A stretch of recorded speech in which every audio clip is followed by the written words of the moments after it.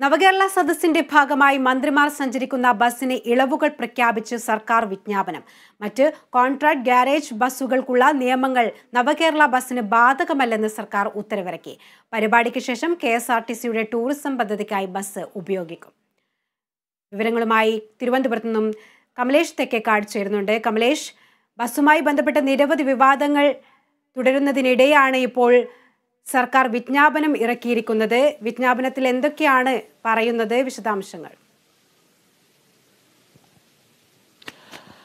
ശ്രുതി വലിയ തരത്തിലുള്ള വിവാദങ്ങൾ ഈ ബസ് വരുന്നതുമായി ബന്ധപ്പെട്ട് പ്രതിപക്ഷമടക്കം ഉയർത്തിയിരുന്നു. മുഖ്യമന്ത്രിക്കും മറ്റ് മന്ത്രിമാർക്കും എല്ലാം തന്നെ സഞ്ചരിക്കാൻ വേണ്ടിയാണ് ഈ ഒരു ബസ് അറേഞ്ച് ചെയ്തിട്ടുള്ളത് എന്നുള്ളതാണ്. കെ എസ് ആർ ടി സിയുടെ ബസ് തന്നെയാണ് എങ്കിൽ പോലും കൂടുതൽ സൗകര്യങ്ങളുള്ള ബസ്സാണ് ഇപ്പോൾ വന്നിട്ടുള്ളത്. ഈ ബസ് കാസർഗോഡ് എത്തിച്ചേർന്നിട്ടുണ്ട് എന്നുള്ളതാണ്. ബംഗളൂരുവിലാണ് ഇതിന്റെ മറ്റു കാര്യങ്ങളൊക്കെ നടന്നത്. ഇത് നിലവിൽ ഇപ്പോൾ മന്ത്രിമാരുടെ ഈ പര്യടനത്തിന് വേണ്ടി ഉപയോഗിക്കുന്നുവെങ്കിൽ പോലും പിന്നീട് ഇത് ടൂറിസം പരിപാടികൾക്ക് വേണ്ടി ടൂറിസം ആവശ്യങ്ങൾക്ക് വേണ്ടി ഈ ബസ് ഉപയോഗപ്പെടുത്തുമെന്നുള്ളതാണ്. ഇതിന് ചില ഇളവുകൾ പ്രഖ്യാപിച്ചുകൊണ്ട് ഇന്നലെ രാത്രി ഏറെ വൈകിയാണ് സർക്കാരിന്റെ ഒരു വിജ്ഞാപനം പുറത്തു വന്നത്. ഇത് ഈ കോൺട്രാക്ട് കാരേജ് പെർമിറ്റിലാണ് ഈ ബസ് പുറത്തിറങ്ങുക. എന്നാൽ അതേസമയം മറ്റ് കോൺട്രാക്ട് കാരേജ് പെർമിറ്റുള്ള വാഹനങ്ങൾക്കുള്ള നിയന്ത്രണങ്ങൾ ഈ വാഹനത്തിന് ഇല്ല എന്നുള്ളതാണ്. അതിൽ ഏറ്റവും പ്രധാനമായത് ഇതിൽ ഈ ഇതിന്റെ ഇത് സഞ്ചരിക്കുന്നതുമായി ബന്ധപ്പെട്ട് ഇതിന്റെ നിറം അടക്കം അതായത് ഇതിന് സാധാരണ വൈറ്റ് വെള്ള നിറത്തിലുള്ള ഒരു പാറ്റേൺ ആണ് ഈ ബസ്സുകൾക്ക് ഉപയോഗിക്കുന്നത്. അത്തരത്തിലുള്ള പാറ്റേൺ അത്തരത്തിലുള്ള നിറ നിറത്തിന്റെ പാറ്റേൺ ഈ ബസ്സിന് ആവശ്യമില്ല എന്നുള്ളതാണ്.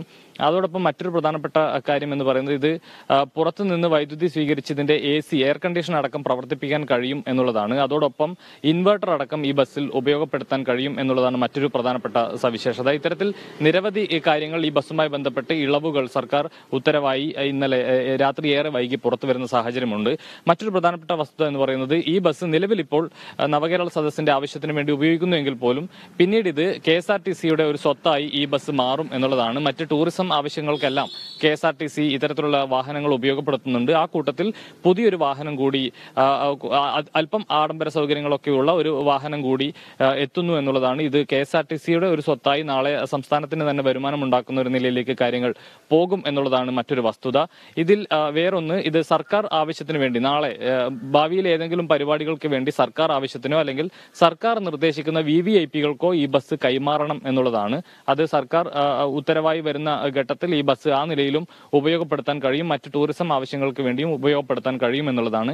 ഏതായാലും ആ നിലയിൽ ബസ് ഇപ്പോൾ കാസർഗോഡ് എത്തിക്കഴിഞ്ഞു എന്നുള്ളതാണ് നമുക്ക് മനസ്സിലാക്കാൻ കഴിയുന്നത്. രാവിലെ നാല് മണിയോടുകൂടി ആ, ബംഗളൂരുവിൽ നിന്ന് ബസ് വ്യക്തമാണ് നവകേരള സദസ്സിന്റെ ഭാഗമായി മന്ത്രിമാർ സഞ്ചരിക്കുന്ന ബസ്സിന് ഇളവുകൾ പ്രഖ്യാപിച്ച് സർക്കാർ വിജ്ഞാപനം ഇറക്കിയിരിക്കുന്നു മറ്റ് കോൺട്രാക്ട് ഗാരേജ് ബസ്സുകൾക്കുള്ള നിയമങ്ങൾ നവകേരള ബസ്സിന് ബാധകമല്ലെന്ന് സർക്കാർ ഉത്തരവിറക്കി. പരിപാടിക്ക് ശേഷം കെ എസ് ആർ ടി സിയുടെ ടൂറിസം പദ്ധതിക്കായി ബസ് ഉപയോഗിക്കുമെന്നാണ് അറിയാൻ കഴിയുന്നത്. വിവരങ്ങളാണ് കമലേഷ് തേക്കേക്കാട് നൽകിയത്.